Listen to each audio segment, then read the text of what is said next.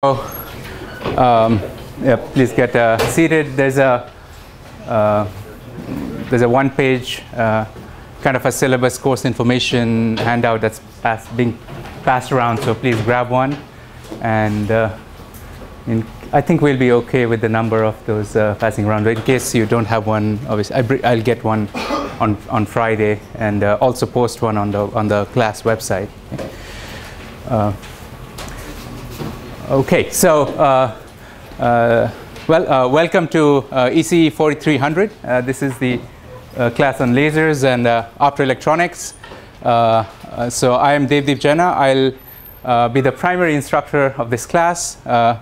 Uh, and uh, uh, Professor Clif Pollock, who has actually taught this course for quite a few years before me, will actually be taking uh, I think roughly 15 of the, uh, uh, slightly more than 15 of the 40 lectures. So you will have to keep on your toes because you will be switching between two instructors. But I think, I think, and I hope we'll offer, each instructor will offer their best to you. You know, so and Professor Clif Pollock is uh, sitting right here. Clif, if yeah, yeah. just uh, uh, stand up, and he's. those of you are in EC know he's our department chair and director. So. and I think you will be in really good hands with Clif. So, yeah, right. Yep, and Clif, you I, uh, I've got to run to see a dean retreat right now, so I got to run off. I don't know that stay, but I, I think I first taught this course 33 years ago. And I remember my first, you weren't even born. None of you were born. and I walked into class and I say, you know, we think lasers are going to be useful. because they were scientific curiosity back then. Yeah. And proved to be very true. And, and the semiconductor laser was just this little joke back then. Barely ran at all. And now it just dominates the world. And so what I'm really excited about is DEPI is a semiconductor. He's going to add a lot of depth, which of course really needs in semiconductors. Because semiconductor lasers are critical. I'm more solid state lasers. So uh, I think we're, this is going to be fun. I'm really looking forward to it. You got two very good talents here. And it should be a lot of fun, very stimulating. Thanks, Clif. So I just want to put the handoff, but we'll, yeah. you tell us how it's going. You know? Yep. There'll be a little disconnect, dissect. Just tell us, we'll fix it. All right. So I got to run. All right. Thanks, Clif. See you guys. Thank you. So, all right. Uh, uh, let me just uh, start off by saying that uh, I'll get the uh, logistics of the course uh, out first. so this is kind of described in the handout I gave you. It has two pages. and what I want to say is you already, um, I already talked about me and Professor Pollock. Uh, and uh, so there's a course website that uh, has been set up. Uh, this we are not using uh, Blackboard, but we are uh, just using our own class website. And this has been listed in the handout I gave you. And I have now the emails of all of you, those who have registered for this class. And I'll create a mailing list and I'll send you the link as well. So uh, uh please bookmark it, and uh, it has information, and uh, most importantly, it will have uh, you know any sort of handouts that may be uh, uh, required reading or, or course calendar, etc. but also importantly, the assignments will be posted here, so you can download them as PDF files, the posting dates, the due dates, and uh, later on after it's due uh, we'll post the solutions as well on, on the website. So uh, uh that so there's a uh, so this should be a, a, useful resource for you. Now um, moving on the um, so class hours I think you know that. It's uh, three days a week 50 minutes each. Location is here but I don't want to say it, but there may be some changes, but I think we want to keep this room, it's about the right size, uh, just about the right size, I think. Uh, uh, but uh, in case there are any changes, obviously I'll let you know, uh, um, because in the beginning of semesters, things are always in a little bit of a flux as to which room uh, you're in. the prereq for this class, oh, sorry, office hours, I'm going to decide based on all your course schedules this semester, the, the least worst will be the uh, choice. So uh, either two hours in one of the days of the week or one hour for two days of the week. So I'll have office hours for it. So. Uh, prereq is uh, uh, background in EC3030, which is our electromagnetic electromagnetism, Maxwell's equations, bit of ideas on uh, um, uh, you know, wave, waves and waveguides and such things. Uh, so, uh, or the permission of instructors. So, uh, let me first just poll very quickly how many of you have not had not had a course on electromagnetic theory or have not had a course on Maxwell's equations. Okay, so um, I'm taking 3030 right now. You're taking 3030 right now. Okay, so okay, so I, I, yeah. I didn't take 3030, but I took some, some physics classes similar to uh, where you had Maxwell and waves and all okay and and Victoria you have also had something like that. Okay. Okay so I think uh, um, and if you have any uh, further doubts or if you in the beginning will you see you know there's a freight train that came at you just let me know, you know because we obviously want to uh, uh, really do a good job in this course uh, understanding lasers. And as you know lasers are um, you know, very, very much electromagnetic objects. I mean, they radiate light, and uh, that's an electromagnetic wave. So, uh, in case you see the going tough in some parts, please uh, uh use office hours. Uh, both Clif and I will be available, so uh, make use of this resource. So. Okay, so moving along the logistics, the book. We are going to actually use a book for this course, Laser Electronics, by Joseph Verdeyen, and this is. Um, I think there are books in the uh, bookstore as well as we're putting some books in the library in case you don't want to own one. You should, but we'll actually be following this book. Um, um, maybe not slavishly, but reasonably, uh, you know, uh, according to the chapters and that sort of thing. So, so, and uh, we think it's it's it does a very good job of getting the fundamentals through in a palatable way because you know, and and and uh, we're going to follow this book. So please, uh, um, um, and, and let me know if you are having a hard time getting a copy or having access to a copy for this book. So, uh, the topics are listed essentially. Um, as you know, the uh, laser is, is uh, we'll, we'll, you know, by the end of the course, we will be able to understand the operation uh, of the laser and why it has optics that is, you know, not limited by uh, lenses, etc., but really by uh, laws of diffraction, uh, look at a little bit of Gaussian beams, but most importantly, things like resonators, uh, interaction of light with matter, which is, you know, the laser is built uh, because of very strong coupling between light and matter, uh, and stimulated emission, rate equations, design of lasers, various kinds of lasers, uh, semiconductor lasers, gas lasers, solid state uh, lasers, uh, quantum cascade lasers, um, free electron lasers. We'll talk a little bit about that as well. So there are all kinds of lasers. So we'll look at the various kinds. Uh, but the main, uh, the main goal of this course is to get the uh, basic idea of the laser across. You know, why, why does it make it, what makes it tick? What is the physics behind it? What is the electromagnetic theory? And what is the quantum in, in this, uh, uh, uh I mean, what, what, what part of quantum plays and what part electromagnetic theory plays in understanding how a laser works. And we'll, uh, what we'll try to make a connection to in this class is a, uh, to uh, those who are in, have had courses on electrical circuits, we'll see that it's actually not too different from a very simple LC oscillator. In fact, that's what we're going to start discussing today. but it's operates at a much higher frequency, not at megahertz or gigahertz, but hundreds of terahertz. You know, so it's a visible wavelength or, or, or you know, and such. So, but the basic uh, uh, uh, you know, physics and the basic mechanisms that make it work are exactly the same as a LC oscillator. So, so that's what we're going to start off with today. Uh, uh, I, I, think you know that uh, coherent radiation with, from lasers has a lot of applications in nonlinear optics, communication, precise timekeeping, whether you are delving deep into looking at the, some of the shortest time scales that are ever have been ever measured by human beings, attoseconds, you know, and things like that, to uh, some of the longest distances far out in the galaxy we're using lasers. I mean, they are they are really helping us probe, uh, uh, you know, things that are uh, extending the, our knowledge in physics itself and knowledge in science itself. So, so that, that, that, that's something to keep in mind. At the same time, they're extremely useful, as you know, in, in, in communications, I think every email you send, there is a laser somewhere doing something, right? So, uh, uh, uh, nonlinear optics, medical imaging, surgery, uh, all kinds of things. Right? So, I think, so we'll uh, obviously talk about them as we go along. Uh, so one of the things is uh, towards the end, uh, uh, we, we will have a few demonstrations throughout the class, but towards the end, you will actually build, design and build a laser in this course as part of one of the assignments. So that will be hopefully, you know, exciting and interesting for you. Uh, you know, you'll do it in the lab. So it, it- this is not a, th- this course doesn't have a lab requirement, but it's uh, for one of the assignments, you will actually build one. So.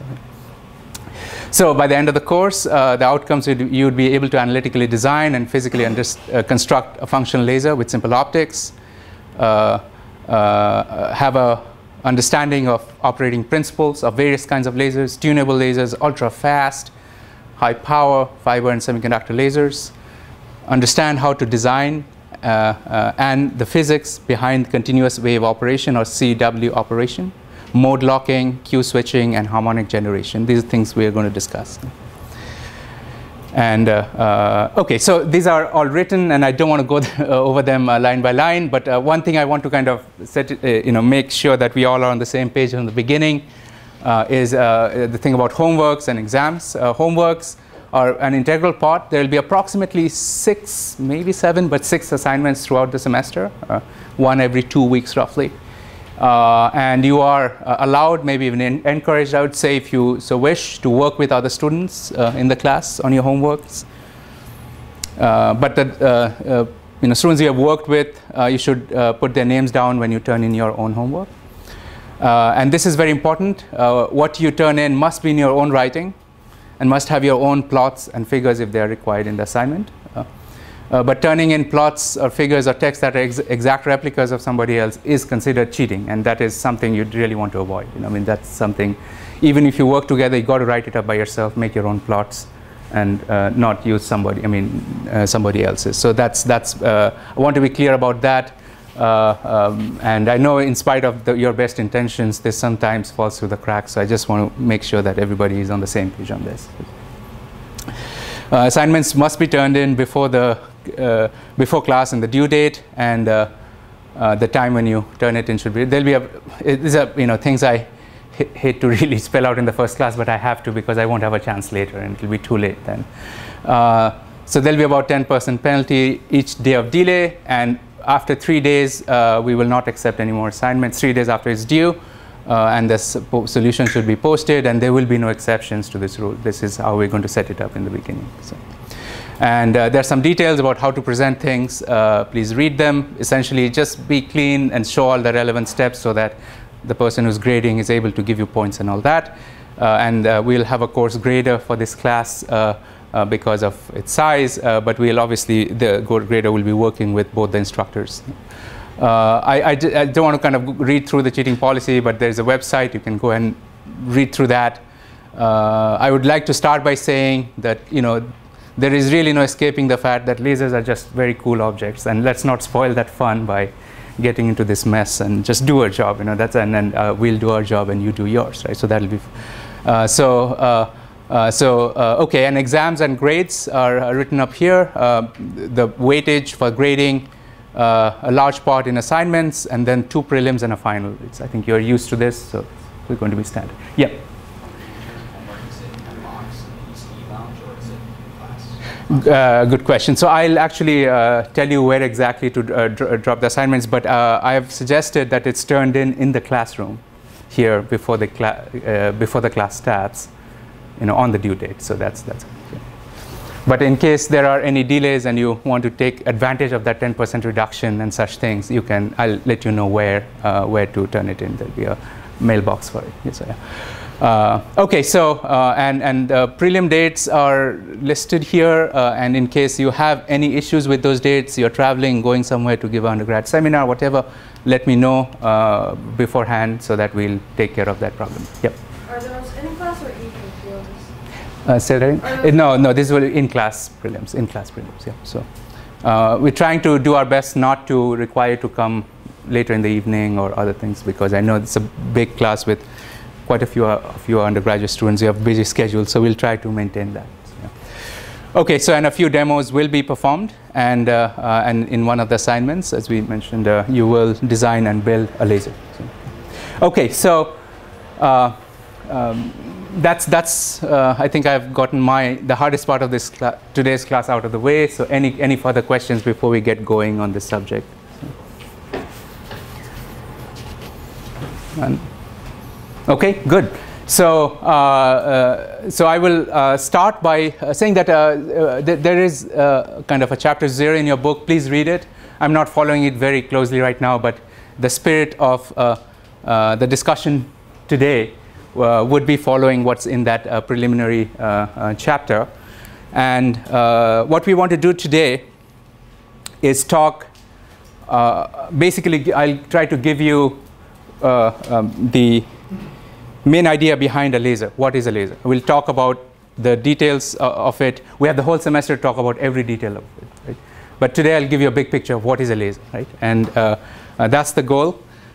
And we will uh, start by, uh, um, before we can answer what is a laser, we have to start by uh, asking the question, what is, a, you know, uh, uh, what does a laser do? So, uh, I mean, uh, I want to start with some dry words, but I'll try to start illustrating them as we go along. Right? So, there's some stuff written here. Let's neglect that for now, uh, and uh, we can start uh, with a discussion. And uh, I know many of you have uh, actually have had some experience with lasers in, in the lab or have seen.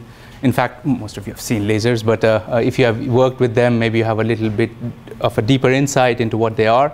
Let me ask this question. You know, maybe we just uh, for a couple of minutes discuss a little bit about what your conceptions are about a laser. So you know, do not read what's written there. Just uh, uh, anybody wants to take a, uh, you know, shot at the answer as to what is a laser. If you want to kind of just say what is the defining feature of a laser.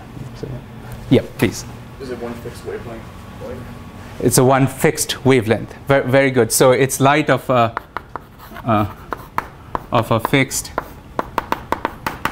uh, wavelength. right? So that's definitely one of the defining features. Yep. Thanks. Yeah. Isn't one of the features also that not only is the light at the same wavelength, but you affect the phasing so that when all light exits, it's all in the same phase? Very good.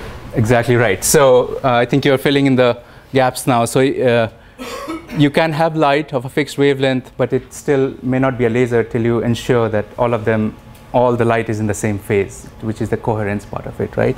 So, uh, so I would also add that same phase, and these things we will obviously develop a very heuristic and intuitive feel as we discuss the rest of today and for the whole semester. What do we mean by all these things?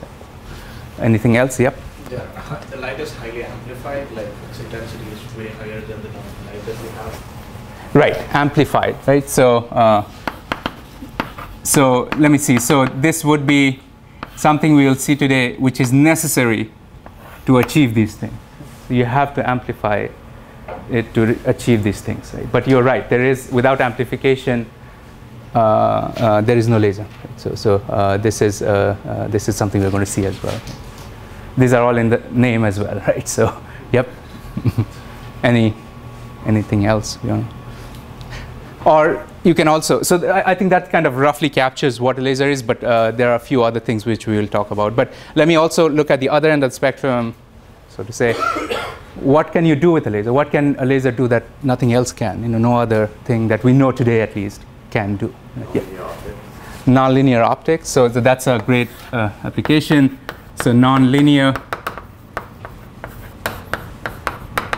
optics is essentially probing matter beyond you know, um, beyond the linear dielectric co- coefficients or the things like that. Yes, and then that that happens because of combination of these things, high intensity and then wavelengths and such things. Yes, and and uh, what else? Yep. uh, transmit information. Oh, absolutely. Yeah, communications. So you can uh, uh, have uh, communications, right? Uh, and and that that really is enabled by we're going to see today uh, very high bandwidth capacity because the frequency is so large and uh, you can push a lot more data using light than uh, uh, using uh, standard currents in, in, in, in, in, wires and slits. And there are issue, advantages of loss, I mean low loss and such things. So absolutely, yeah. Any other things? No. Yep. Yes, yeah, we discussed. So that's right. So uh, you know the high uh, uncontrollable intensity and the wavelengths lead to uh, applications in surgery and and you know diagnostics, all kinds of things like that. Yeah, absolutely. Yeah, yeah. So, um, and the one more thing you can do is generate extremely short short pulses of light. And these pulse widths can be down to uh, femtoseconds or maybe even attoseconds. In fact, these are so short that they bothered the discoverers of quantum mechanics like Niels Bohr and John von Neumann uh, so much because they thought it violates the uncertainty principle because it goes way below what was originally thought to be the limits of uncertainty principle. But you know, after but it's clear now that that, that that it doesn't violate uncertainty principle. It's just a new object that was not modeled, understood in the right way in the beginning.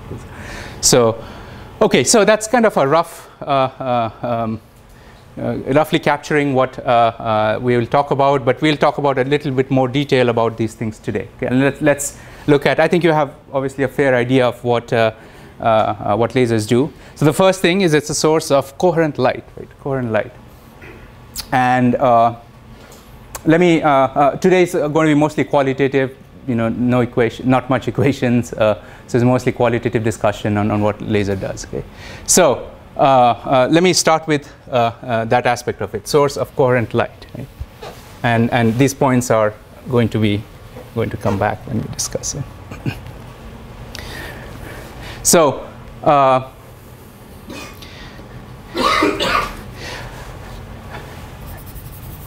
So uh, coherent light, let's start with the first thing you said, it's a specific wavelength, specific wavelength. And I think we know that uh, uh, uh the uh, wavelength of light and the, uh, the, the, the, frequency of light are related by their product, which is the speed of light. So, so that's, that's the, for light, that's, that's true. if you are going in vacuum, if you are going in some material media, there's a little refractive index here and all that. Let's not bother about those things at this point. So, uh, uh, so, so, and I think we also uh, understand, and we'll look at it again in the review, that uh, light is uh, an oscillation of electric fields and magnetic fields. It's an electromagnetic wave and comes out of Maxwell's equations. And, and uh, let's just look at the aspect of oscillation. So we're saying we have a specific frequency, let's call it lambda naught, specific frequency, uh, specific wavelength. You know, for example, the one that I'm using here, well, that's green, right? A green laser, a wavelength about 532 nanometer, 532 nanometer. So that would be green. And uh, uh, if you do the numbers, the frequency for 532 nanometer will come out to be you know, close to 100 terahertz, about roughly 100 terahertz. So what does that mean? Well, that's 10 to the power 14 hertz. Right? Uh, these are very ballpark estimates. I, I, can be off by a factor of two or something like that, but you know, I'm not doing the numbers. So, corresponding to those, this will be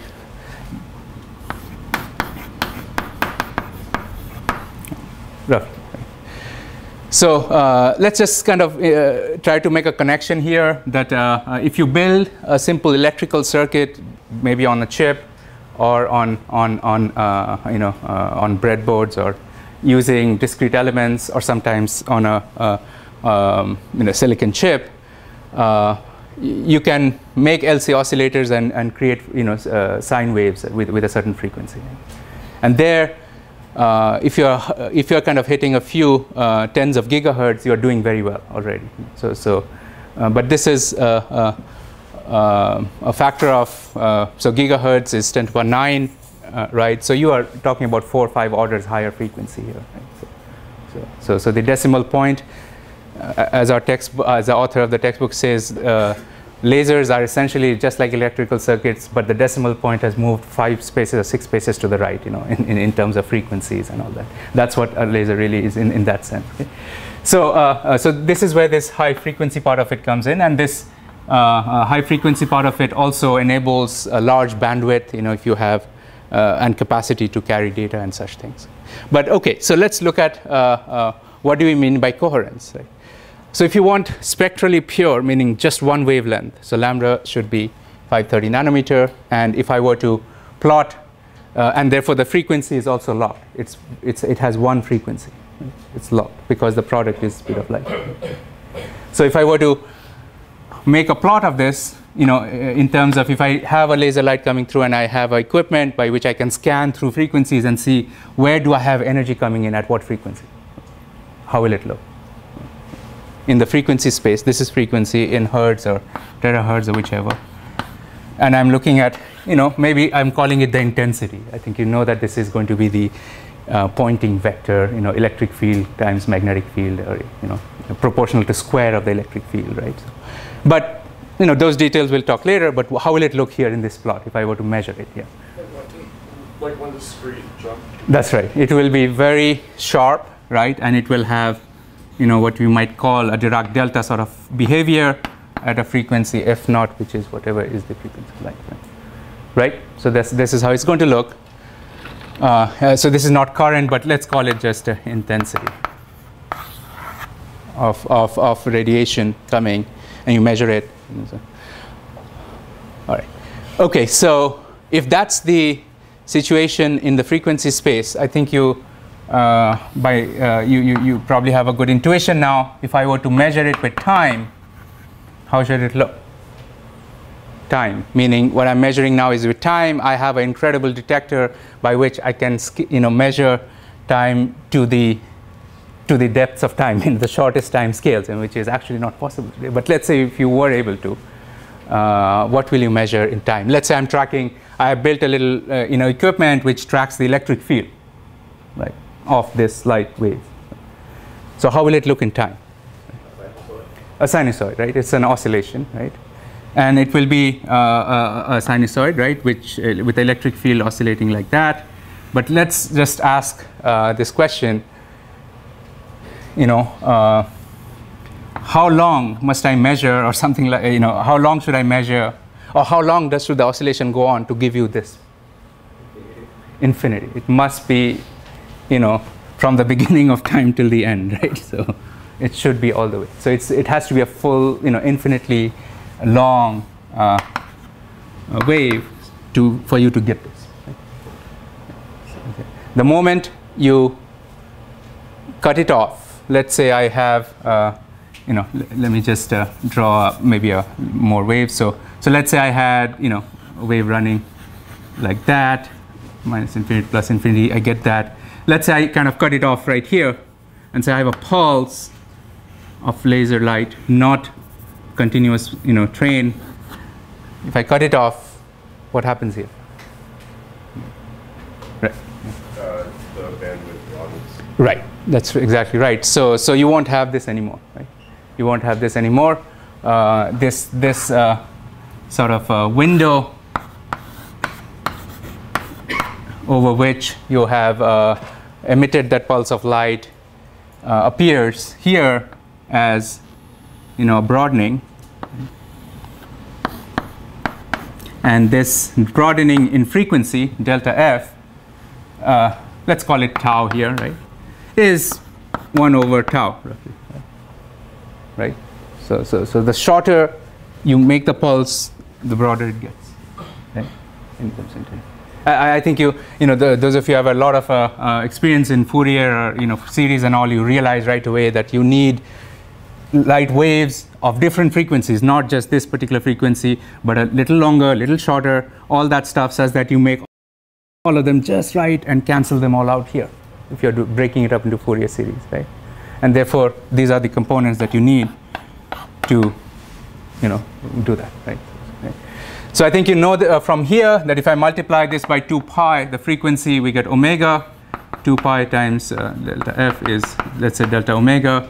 Uh, and for any wave, you have this, you know, thing that uh, uh, the uh, uncertainty in the frequency the uncertainty in the time over which you, you can see the wave or you observe the wave is related by this quantity, right? By it's uh, greater than half and uh, uh, uncertain frequency and times in uncertain time. And that uh, uh, tells you the line width, how broad is the spectrum, how sharp is the spectrum of the laser and all that, right? So that's, that's where, uh, you know, that's, that's essentially one of the uh, important results from any wave, for any wave. This is, you know, not just, it, if you have electron wave or matter wave, it's the same deal. You, know. you just multiply by h bar on both sides and you get the uncertainty principle, right? I mean, so, yep. Can you explain that equation again? Yeah, okay. So maybe I, I, want to give you a more intuitive feel for it first, right? So let's say I'm, you have built a detector and you observe light and there's nothing coming out and, and your meter goes off and says, oh, I have something coming in, but then you suddenly stop, right? Only with a half a wavelength, let's say. The, or you see, even shorter than that, right? Then you can't say it's a wave, right? You can't even say because you don't, it has not even completed a frequency, whole cycle. So you can't say whether it's a, you know, a rising linear wave, eh, you know, signal or it's actually oscillating, you can't say it. That's what it really means intuitively that you need to have a large number of cycles before you can be certain that it's a certain frequency. You need to measure a large number of cycles, right, before you can say that it, this signal has a certain frequency. If you can't, if you if you have if you see a signal only for a short time, and uh, then that signal uh, must have, uh, meaning if it oscillates but only for one cycle, then it has all these frequencies. That's it. So, so th there's uncertainty in the frequency related to how long you measure. So, meaning, if you want to conclude from here that wavelength coming in is at that it is or the frequency is such, you, you can only do it with this much precision, depending on how long. Obviously, if you measure till infinity, you can be completely precise. Delta omega would be zero, right? Because you can be absolutely precise. That's kind of the intuitive idea of this. Right? Any questions? Okay, so uh, we are talking about uh, the aspect of coherence now, right?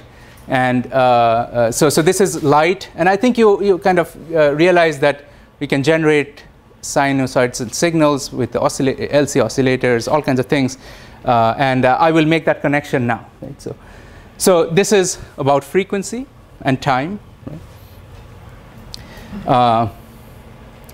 Now, uh, if I uh, um, if I were to ask now physically what is going on here, how uh, how is it that I am generating a coherent wave in a laser, right? So let me uh, just uh, point out, uh, you know, roughly again, qualitatively initially, how one generates a coherent wave with a laser, right? And we're going to discuss this in a little more detail as well today. But here's pretty much all the quantum we need at this stage till kind of almost the maybe um, month and a half into this course, this is all the quantum mechanics we need to get started on understanding lasers. What quantum mechanics says is all matter, be it atoms, be it a semiconductor, be it titanium atoms inside sapphire, which is the Ti-sapphire laser, whatever matter you have, if you have matter which has mass, electrons, you know, uh, uh, then uh, quantum mechanics says that uh, these uh, uh, particles can have energies that are discrete. I mean, they have discrete energy levels, right? And and I think you know that light, on the other hand, um, in quantum mechanics, before quantum mechanics came along, light had it was understood not quite as coherent, but what what the best knowledge that people had about light was from what's called the black body radiation. I mean, that's how that's actually how quantum mechanics itself started. So what does black body radiation do? So you, you, you basically have a box uh, inside which you have maybe all, uh, a, uh, a, large number of atoms, you know, uh, a large number of atoms uh, which have uh, electrons, which and then these atoms are different kinds, so they have different energy levels. So you have various, you know, such energy levels and, and they have distribution of those other, other kinds of atoms. And then you also have inside it a lot of energy in the form of light. So you have light waves, maybe with a mirror bouncing back and forth and interacting very strongly with these atoms. So just get a qualitative picture. The details are irre irrelevant at this point. So you have light, you have a, you know, a very dense soup in some sense of light and matter. Interacting very strongly with each other. You know? And then you uh, look what comes out of this region, you know, and obviously uh, you, you, have made the design says that the atoms do not come out, but light comes out. So you are looking at light outside, and you plot outside here as a function of say frequency, as we talked about there. What comes out, And uh, uh, if, you, if you make a plot of that as a function of intensity, what you'll see is it, it has a behavior, uh, something, something which looks, you know, something like that as a function of frequency. And uh, does anybody know what is the expression for this? Yeah. yeah. Or rather, not, not the you know quantitative version, but you know what's it has a name, right? So. Sorry. Yeah. Asymptotic. Uh, yeah, asymptotic. Uh, right, right. This is asymptotic behavior, uh, but uh, so this was actually. Let me first ask. I mean, it's uh, who who who first did this? Uh, explain this. Sorry. sorry, is it Gaussian. Gaussian. Yeah. So the shape. I'm, I'm not not. it's it's not Gaussian though. I mean, it has a slightly different. Yeah. Maxwell. Sorry. Yeah. No, these are nice names. So actually, that's very, very good you mention it. So Maxwell and Boltzmann explain this part of it. Planck. Planck, yeah. So, so, and then there was a Rayleigh-Jeans law who explained that part of it. And, uh, you know, Rayleigh-Jeans law had an issue with high energies or high frequencies, Maxwell, low frequencies. And uh, the reason why, uh, so this was, this is called the Planck's curve or, you know, uh, uh,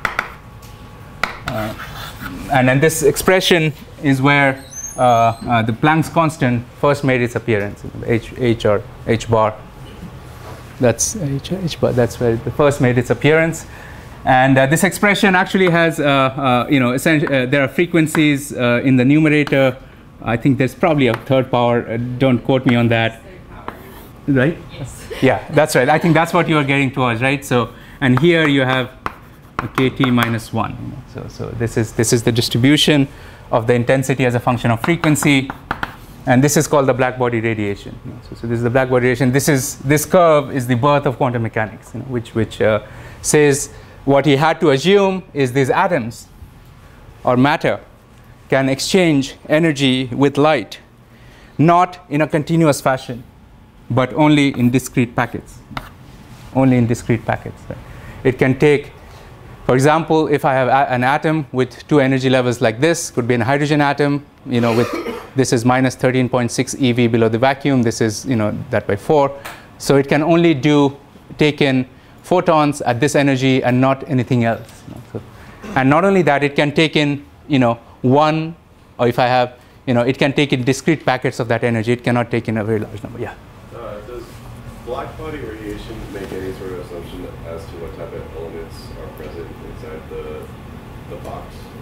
Ah, good point. Yeah. So uh, uh, that's a very good point. In fact, it does. You know, it, it, it you must have a large range of uh, atoms with various energies uh, or gases. You know, that's what typically is in the in, in these ovens uh, uh, that give you a large enough spread in these energy spectra so that you get this this sort of behavior. And we'll see. That, I mean, the, the way I'm trying to motivate this is if I change this the changes I have to make here to make it into a laser. Now this, as you see, is the furthest from a laser. This is completely incoherent light, right? It has no wavelength spe spectral purity. it's not doesn't have a single frequency. It's spread out, right?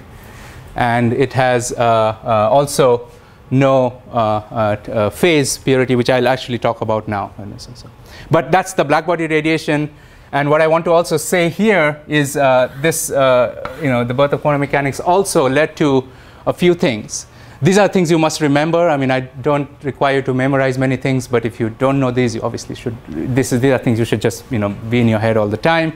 So uh, energy is h, uh, h bar times omega, which is omega is the circular frequency, which is 2 pi times the frequency, right? Uh, and, and the frequency here is the one that goes into you know th this relationship. So speed of light and frequency are related to that. I think I've written nu here, but uh, you know f or nu. I think book probably uses nu, so I use nu here. The energy uh, uh, of a of, of a uh, you know oscillation, oscillating wave, which we will call later as a photon, once we you know absorb all the quantum the energy of a photon, if you know its wavelength in nanometers, is 1240 by this. So, so, this meaning if I have a photon, or if I have electromagnetic radiation whose wavelength is 1240 nanometers or 1.24 microns, right?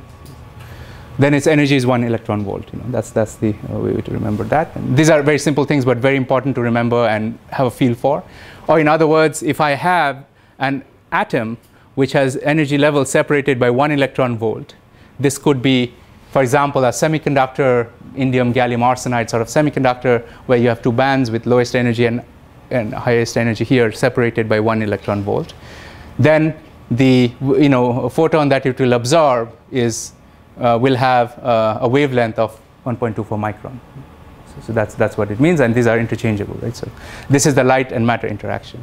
And the separation here is h, h uh, times uh, nu or h bar omega. So, and so now what we're going to see is uh, uh, what do you do to twist this light matter interaction where light comes in, it kicks an electron out from here to there and excites the atom and then uh, uh, obviously that, uh, as you know, this will be a non-equilibrium situation. It won't stay there for too long. It's going to decay, and it's going to emit another photon. Right?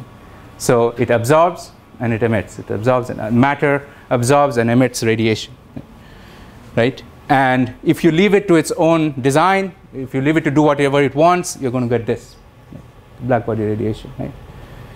If you do a little more work, you take a semiconductor and you or make a light bulb, you know, where you are actually kind of doing blackbody radiation again, but on a much smaller scale. You are heating up a tungsten wire, and you, you know, essentially uh, end up with a, a, a light uh, which is, let me just draw it with frequency, uh, or with wavelength, let's say you have violet here, let's say 400 nanometer is violet, and red would be, let's call it 700 nanometer or 750 or so. So if you look at the spectral purity of a light coming out of a uh, incandescent light bulb, you know, you'll, you'll get something like that. And the bandwidth of it in frequency, remember lambda and f are related, is roughly 10 gigahertz or 100 gigahertz, depends, you know, something like that.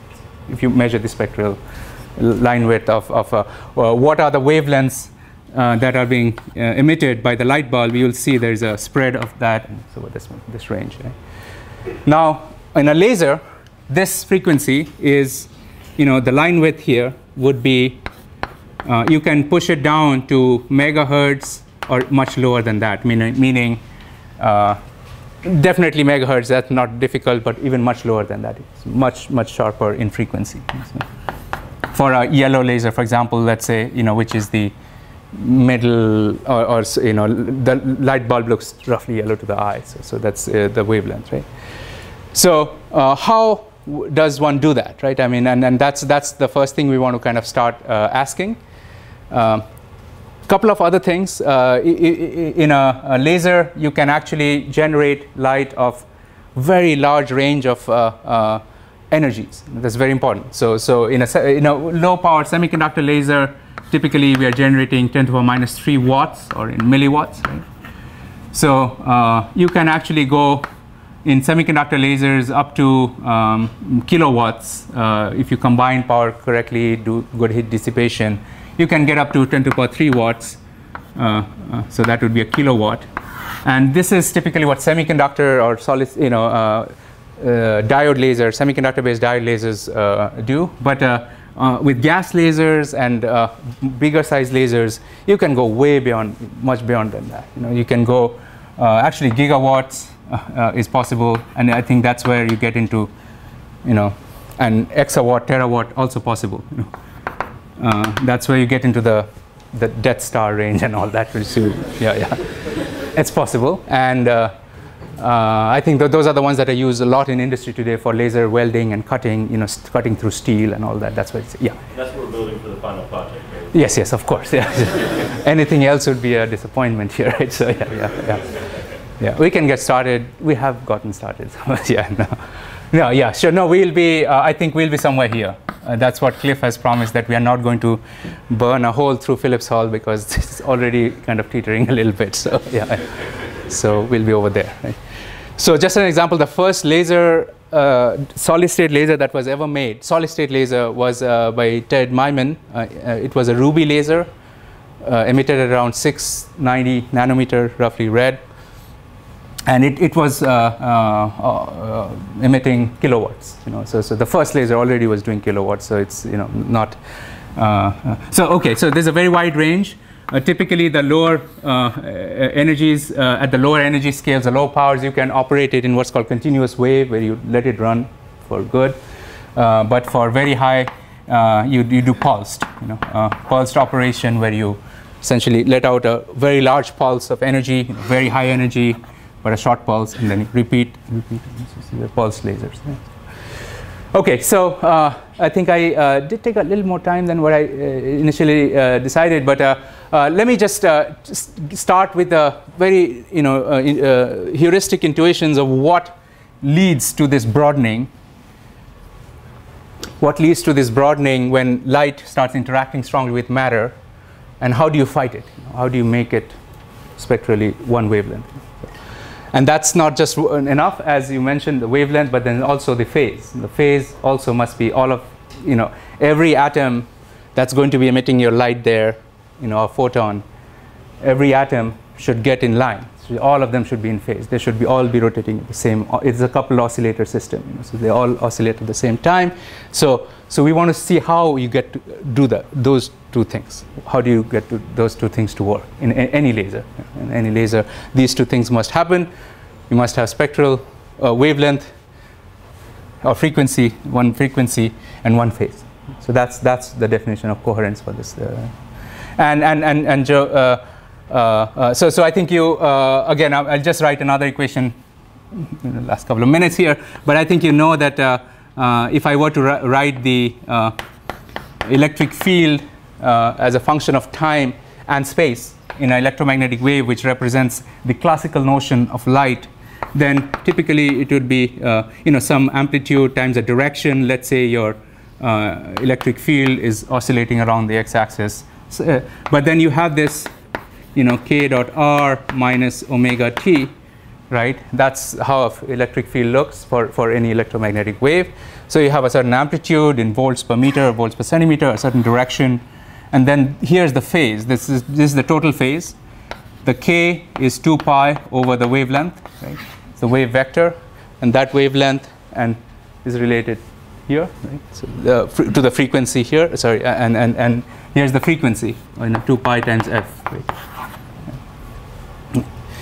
So what happens is when atoms start, you know, interacting, you say pump it with a very large amount of light source. You take uh, you know atoms in a box and you have maybe a, a, source of light here, uh, maybe a you know, very intense light bulb or something that's emitting a lot of photons you know, that you're electrically pumping from outside. And then these light, uh, uh, for this, the, the light is interacting strongly with atoms. It will excite atoms. Let's say, first things first, we typically want the same kind of atom. So what kind of atom do you have? Does it make a difference? Yes, it does in a big way. Because if you have all the atoms are the same, let's say, then clearly all these energies are going to be the same. If it's a gas, right? So all these energies are the same. Or if you have a distribution, then you'll have a distribution of energies as well. So, uh, so that's the first thing we're going to do. We're going to build the kind of simplest laser. All the atoms are the same. Let's say. Uh, um, um, well, hydrogen. I mean, that's uh, or we use helium. Typically, a helium neon laser is a uh, red laser, HeNe laser, helium cat, and other things. So uh, we'll have all the atoms the same. In the in that case, we can be ensured at least to start with that I'll get a very sharp spectra here. Right? I'll get a sharp spectra here. I can be sure about that. If I have many, then I'll get you know this, this, this and all this, and they will kind of overlap, and then you get this thing. So that, that's one. But the most important thing about the laser now is uh, something I'll end with today, and we start in the next class, is also the phase. I mean, the, the, the getting the uh, right wavelength is not very difficult. It's, a little more difficult is to get the same phase, but all of them kind of go at the same time. And the reason for that is once an electron abs uh, absorbs a photon or light, it goes up and the atom gets excited. Right? But then it waits for a certain amount of time before it starts radiating. It waits for a certain amount of time before it starts radiating. So let's say I have, you know, let's say I have two atoms or three atoms, and one starts radiating. Uh, uh, so so uh, there are two things that happen. There's, there's, there's going to be loss of light. In some sense, the loss is whatever gets out of the wave or gets you know part of it there's a skin depth heat and all that some of the energy gets absorbed Because of loss, you'll have a decay in the amplitude. The frequency will remain the same because the frequency is energy separation of energy, but the amplitude is going to decrease because of losses. Exactly the same as the LC oscillator. You add a little resistance, you know, instead of oscillating, starts decaying. Right? Same deal. The second thing is there are many atoms, and not all of them start radiating at the same time. One of them may wait a little bit and start a little later, and something start a little later. That's phase. That's the phase. So now you have, uh, you know, a decaying. Uh, uh, so a, a, a, decaying wave like that, another decaying wave, but it started there, exactly the same replica of that. Another that started from there, and when you add all of these electric fields, you get something like that. So the phase is flipping. It started, and suddenly it flips, and suddenly it flips. So these two things are going to determine if you can control the wavelength and the phase, make all the atoms go at the same time, right? That's how you get the laser. So that's that's the rough idea of how the laser works. And unfortunately, just as we get, in, get into this, we are out of time today. But I'm actually going to stop here, and uh, because this is a good point, we'll start from here and show you a full working. You know, yeah, we have a quick question. Sorry. Yeah.